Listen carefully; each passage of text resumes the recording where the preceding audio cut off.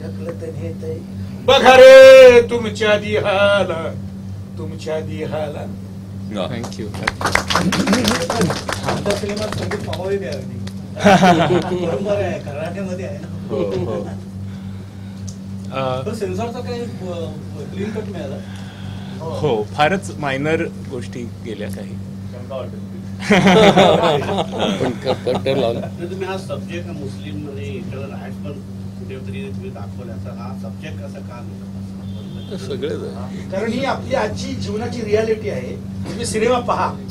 त्याच्यामध्ये धर्म जात आणि याच्या पलीकडे माणसाचं जे झाले ना जे माणूस त्याच्या पलीकडे जाऊन जो त्याचा लोळागोळा झालेला आहे. म्हणजे माध्यमातले असतील ते रस्त्यावरचे असतील त्याच्यामध्ये काही फॅमिलीज जे मी स्वतः एक छोटा रोल करतोय की जो बॉन्ड आहे फिरिस्ता आहे भटका आहे. तो जीवनाबद्दल गात राहतो. जा रस्त्यावरनं गात. मी रियालिटीमध्ये पण स्ट्रीट सिंगरच आहे. तर रस्त्याने गात जातो? काय माणसं कुठून सटकतात आणि कुठे जाऊन धडकतात? कशाचा कशाला मेळ आपल्या व्यवस्थेमध्ये राहिला नाही.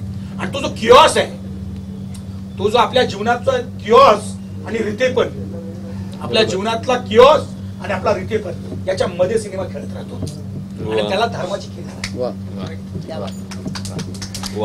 टबी आणि पारिक ह्यांनी दोन गाणी केली आहेत सिनेमाची वेगळी जी म्हणजे apart from arranging Sambhaji Bhagat songs एक सुखविंदर सिंगनी गायलंय आणि एक जब जयप्रद ने, जयप्रद और सचिन दोनों जब अप्रोच किए थे तो उस वक्त खाली बैकग्राउंड हम करने वाले हैं, ये डिसाइड हुआ था।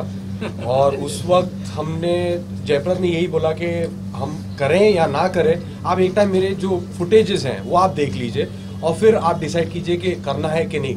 मगर जब हम लोगों ने फुटेज देखे तो इट वॉज़ सो इंटरनेशनल मुझे और परी को दोनों को ऐसा नहीं लगा कि हम लोग एक मराठी फ़िल्म देख रहे हैं। तो लुक जो था और जो भी जो भी एक स्क्रिप्ट जो था डायलॉग्स जो थे, वो इतने इंटरेस्टिंग थे कि it was very international the way he shot the way he did the screenplay and all and उस वजह से हम लोग को काफ़ी एक इंस्पिरेशन हुआ कि यार ये पिक्चर किसी भी हालत में हमें करना है।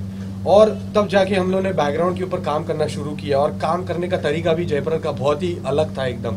उसने कहा कि मुझे टिपिकल एक मराठी जैसा नहीं बैकग्राउंड चाहिए जहाँ हर पीछे जो नॉन कमर्शियल टाइप का होता है। और हमने यही कहा कि actually you come to the right place because we also don't like to do that kind of score you know so we said कि आपकी और हमारी काफ़ी जमेगी। और तब जाके उन्होंने फिर कहा कि पिक्चर में दो गाने भी हैं जो मैं चाहता हूँ कि आप लोग करें।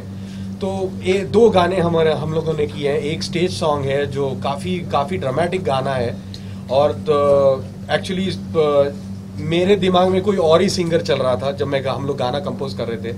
और जयप्रद और परीक सडनली बोलते हैं कि यार सुखविंदर सिंह से ये गाना गवाते हैं। और हम मैं बोला यार सुखविंदर सिंह मराठी गाना?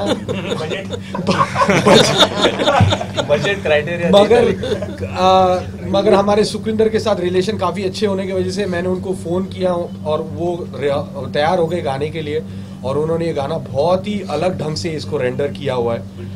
विठला विठला। गाने का नाम है और मुझे बैकग्राउंड में भी है। पिक्चर में भी है और इस तरीके से हम लोग ये गाना तैयार करने के बाद फिर जयप्रद ने वापस बोला कि यार एंड में मुझे ये गाना चाहिए।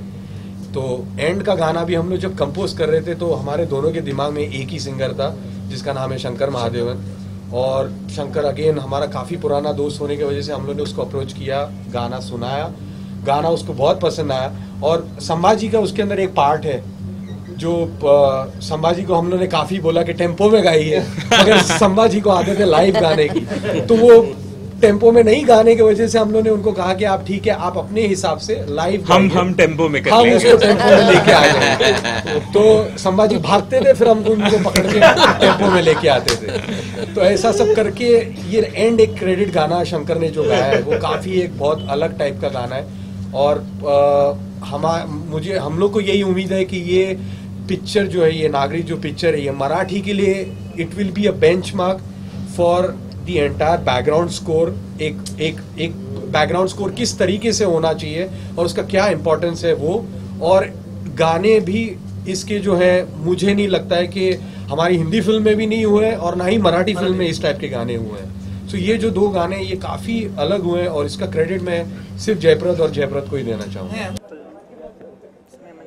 बहुत ही बेहतरीन कलाकार लेजेंडरी कलाकारों ने इसकी स्क्रिप्ट को पढ़ के इस फ़िल्म को सिलेक्ट किया है। क्या खास बात है इस नागरिक फ़िल्म में? खास बात यह है कि डॉक्टर लागू से लेकर दिलीप प्रभावड़कर सुलभा देशपांडे नीना कुलकर्णी मिलिंद सोमन देविका दफ्तरदार बहुत अच्छे माहिर गुणी एक्टर एक साथ अ, काम कर रहे हैं। और उसकी वजह यह है कि इस फ़िल्म की स्क्रिप्ट और इसके डायरेक्टर जयप्रद देसाई। इन्होंने बहुत अभ्यासपूर्ण ये स्क्रिप्ट लिखी है और इसका जो लुक है फ़िल्म का, बड़ा इंटरनेशनल सा लुक है। और तो और कहानी जो है वो बहुत फास्ट पेस्ड है। मतलब घटनाएँ बिल्कुल एक के बाद एक तो आपको कुर्सी से हिलने नहीं देंगी। तो ये सारा जो स्ट्रेंथ है फ़िल्म की वो वो स्क्रिप्ट और कहानी है।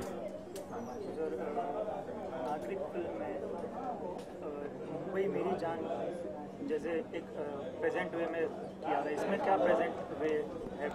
इसमें यही आज की व्यवस्था को बड़ी एंटरटेनिंग वे में दिखाया गया है। हम चाहते हैं कि ज़्यादा से ज़्यादा लोग इस फ़िल्म को देखें। पत्रकार की भूमिका मैंने पहली बार निभाई है तो मेरी अपनी एक्साइटमेंट है। और यहाँ इसमें सिंक साउंड फ़िल्म है। वी हैव शॉट मुंबई में पैंतीस से ज़्यादा लोकेशंस पर हमने शूटिंग की है। और टेक्निकली बहुत अच्छी फ़िल्म है। आज जो राज्य पुरस्कार पाँच मिले हैं, उसमें कैमरामैन को पुरस्कार है लिरिक्स को पुरस्कार है डायलॉग्स को पुरस्कार है।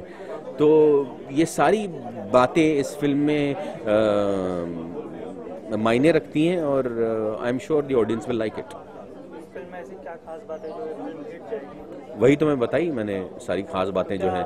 हिट जाएगी तो इसे हिंदी में लॉन्च करने का कुछ प्लान है? भाई देखो मैं तो मराठी एक्टर हूँ और चाहता यही हूँ कि ज़्यादा से ज़्यादा लोग देखें अगर इसे हिंदी में अब हमने तो सबटाइटल्स कर लिए हैं लेकिन हिंदी में भी इसे डब किया जा सकता है या फिर हिंदी में इसे नए सिरे से बनाया भी जा सकता है। उतनी पॉसिबिलिटी सब्जेक्ट में और फ़िल्म में है इस फ़िल्म के गाने हमने देखा बहुत ही बेहतरीन है बहुत बेहतरीन। गुनगुना रहते हैं तो जी।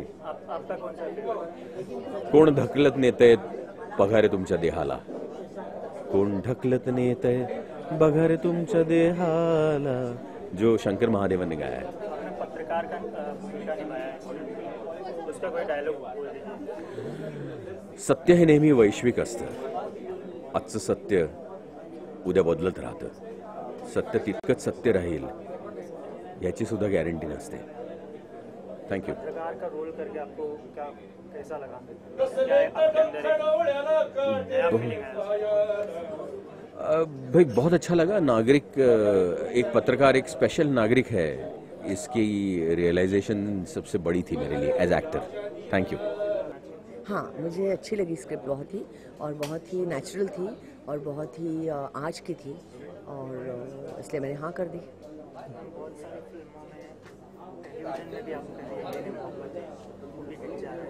आपके ऐड भी आ रहे हैं, उनके बारे में मेरा पेशा है, मैं एक्टिंग प्रोफेशन है मेरा तो ऑब्वियसली ज़ाहिर है कि जो भी मुझे मिल जाता है, उसमें से जो मुझे अच्छा लगता है, वो मैं चुनती हूँ और काम करती हूँ। सारे माध्यम में काम करके देखना चाहिए, मेरे मेरे मेरा एक प्ले भी शुरू है अभी। तो थिएटर फ़िल्म एड टेलीविज़न कुछ नहीं छोड़ती, सब कर लेती हूँ। लग रहा है आप स्कूल खोल सकती हैं। अभी 45 साल हो गए मुझे एक्ट्रेस बनते हुए तो अभी भी कोशिश जारी है। और मज़ा आता है मुझे अभी भी प्यार है एक्टिंग से और नए नए किरदार करने के लिए मुझे। फ़िल्म इस किरदार में ऐसा क्या था जो मैंने कभी सोशल एक्टिविस्ट का रोल अभी तक किया नहीं है फ़िल्म में। और मैं ऐसा नहीं देखती कि ये रोल नहीं किया, इसलिए कर लूँ। जिस तरीके की फ़िल्म उन्होंने मुझे बताया वो जो पूरा सब्जेक्ट था, वो बहुत ही मुझे अच्छा थोड़ा सा इंसाइट देने वाला था नेचुरल था। और वो जो कहना चाह रहा था है वो बहुत खूबसूरती से उसने उस, उसके जो डायलॉग है उसमें बहुत ही खूबसूरती से बांधा है। तो इसलिए मैंने करा सचिन जी के साथ आपने काम किया? कितना ये फ़िल्म में नहीं इस फ़िल्म में एक्चुअली मेरा इन किसी के साथ इतना काम है नहीं अपने आप ही है। क्योंकि तो बहुत सारे ट्रैक्स है उसमें से एक ट्रैक मेरा है। विठला मुझे अच्छा लगता है। नहीं। इतना मैंने सुना नहीं अभी तक। थोड़ा सुनने के बाद गुनगुनाऊँगी तो फिर मैम व्यूअर्स को क्या मैसेज देंगे आप ज़रूर नागरिक जाके देखिए। आजकल मराठी फ़िल्मों का बड़ा दौर चल रहा है ऐसे सब कहते हैं। मैं तो शुरू से मराठी फ़िल्में करती आ रही हूँ तो इससे मुझे कोई ऐसा बड़ा फ़र्क नहीं। Marathi film have always been very very good and very very natural और नागरिक को पाँच स्टेट अवार्ड्स मिले हैं। और जिस तरीके की फ़िल्म है जिस तरीके की ऑनसॉम्बल कास्ट है इसमें तो आप ज़रूर जाके देखिए। तो फ़िल्म हिट होगी तो वो आपको उनको पूछना पड़ेगा। मैं तो सिर्फ़ एक एक्ट्रेस हूँ इसमें। फीचर्स में फीचर्स में आपका क्या क्या अभी है एक दो मराठी फ़िल्म आ रही है एक दो हिंदी फ़िल्म आ रही है। या मेरा एक शो चल रहा है ये है मोहब्बतें करके वो तो होपफुली चल फिर एक मेरा प्ले है छापा काटा जिसके काफ़ी शोज़ होते हैं एवरी वीकेंड